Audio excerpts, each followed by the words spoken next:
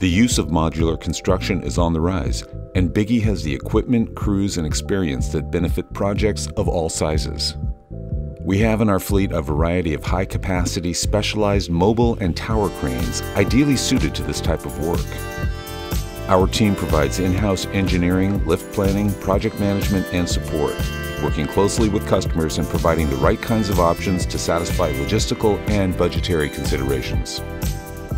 Bigge's reputation and record for safety are unrivaled, reinforced by experienced crews and best in class equipment maintained to the highest standards. And Biggie has more board certified safety trained supervisors than any other crane rental outfit in the business.